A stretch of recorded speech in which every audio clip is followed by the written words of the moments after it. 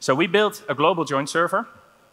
And the global join server allows for activating devices on any LoRaWAN network, uh, running anywhere in the world on any deployment model.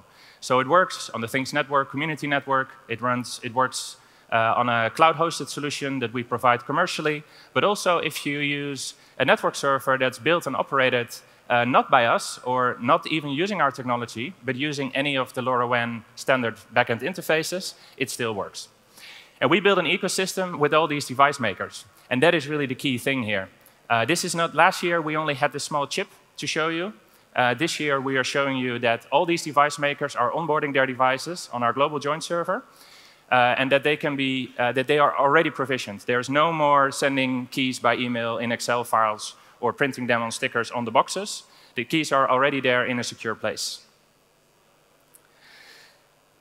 That is for pre-provisioning the keys. Then one step further is having a hardware secure module in the device uh, where the root keys are provisioned. And these, the, the, difference here is that if you have this hardware um, secure module in the end device, nobody can read the keys because it's, it's physically protected against tampering. And we are, so last year we launched a solution with Microchip, and now we are happy to announce that also ST, Trusted Objects, and Cypress uh, are joining in this effort and that they are building LoRaWAN pre-provisioned secure elements to the market because we think also that diversity is really good